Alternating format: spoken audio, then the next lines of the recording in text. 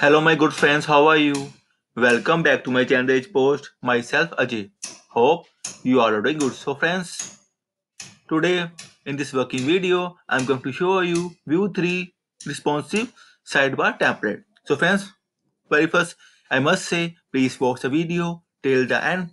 And today, I'm at my home, so here is some noise because of some construction work. So I will show you full working template. So friends, here we go.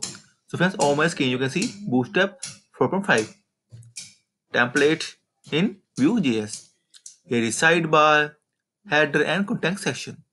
See friends, toggle menu. So friends, it's very basic and you can use according to yourself. You can use as an admin template. You can use as a front end. And friends, here I'm going to show you its responsiveness. Here is iPhone 10. See friends, toggles work fine. Header menu works fine. Again, sub menu works fine. Now we will check on other devices. Galaxy XS, perfect. I will also show you on iPad. Just amazing. See you friends works well. So friends, like always, I will share the code snippet link inside this video description. So please get the code. And friends, I will come with more templates and Vue 3 codes.